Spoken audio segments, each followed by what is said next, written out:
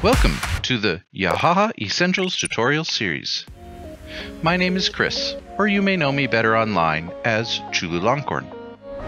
I'm here with Yahaha doing this tutorial series all about creating and playing with Yahaha online. Today, we'll be going over editing and manipulating objects in the Yahaha editor. The editing tools in Yahaha Studio are used to manipulate objects and create the interactive structures and elements of your spaces, allowing you to both make visually appealing details and challenging obstacles for players. So, let's dig in. To start, let's look at the object manipulation controls. We touched on these in the Studio walkthrough video, which will be linked below, but here we'll go over them more in depth. First, let's talk about the grab tool. Grab tool can be used to select and drag objects around your scene.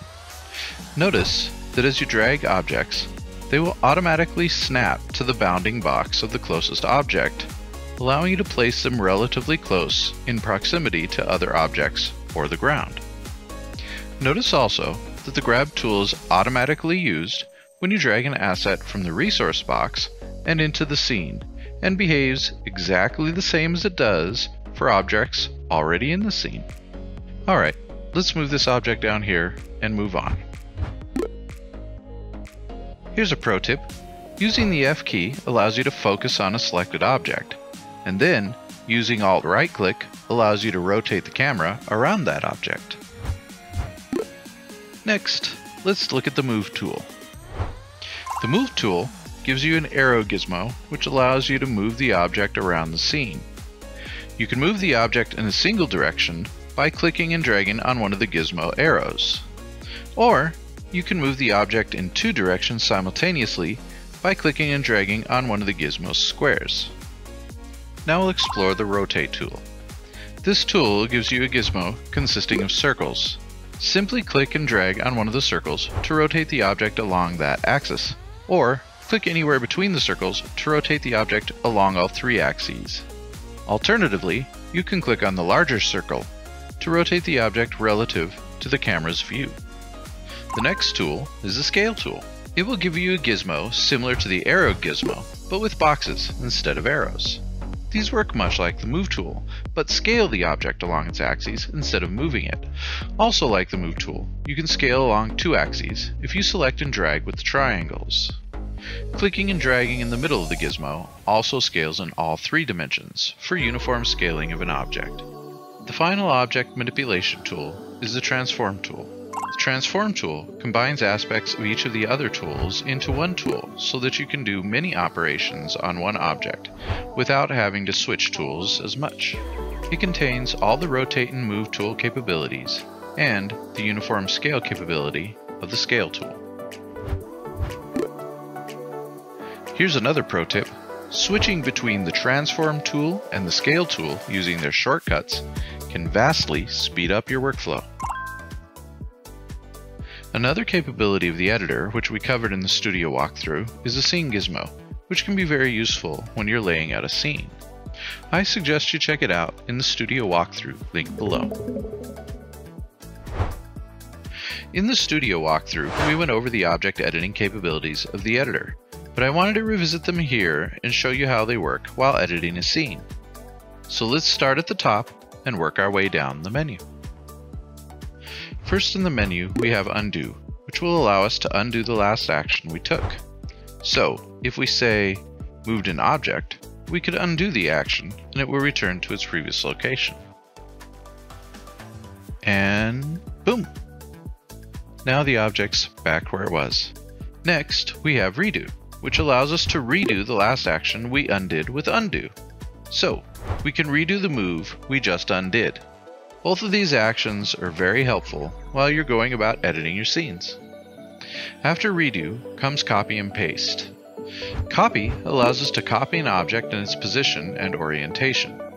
Paste then allows us to place a new object in the scene exactly where the copied object is.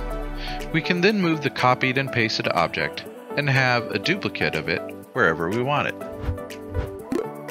Next, we have duplicate. Duplicate is very useful, being a copy and paste combined. It copies an object just the same as the copy command, but also places it in the scene, just like the paste command. Then, just like the copied and pasted object, the duplicated object can be moved wherever we need it in our scene, and we have two of the object. The next command, array duplicate, is also very useful. This command allows for copying objects in rows. After you activate the command, simply drag on one of the cones which appears around the object, and the object will move along, leaving copies of itself behind. As I mentioned in the studio walkthrough, it is helpful when doing walls and floors, or any other type of structure where you want rows of objects adjacent to each other. Following array duplicate, we have delete, which simply removes the currently selected object. And finally, we have select none, which deselects all objects. That covers editing objects in Yahaha Studio.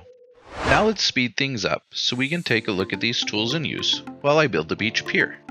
In Yahaha Studio, you can maneuver and manipulate objects to get them where you want them. Here, I duplicated this plant so I can use it in the area where I'm going to place the pier. I then dragged the pier into the scene and worked it into place. I use a bit of undo redo here to get it where I want it. I'm also using the transform tool to get things laid out where I would like them. Next, I drag some grasses into the scene for a bit of visual interest. I want more than one, so use the array duplicate and duplicate to quickly add more. As you can see, I utilized the Explorer to help me refine my grass layout. This way, I can more precisely select what I want to edit. It helps considerably when you've got many objects in the same area. Now, after some final tweaking, I add a boat to lend a little more visual interest to the space.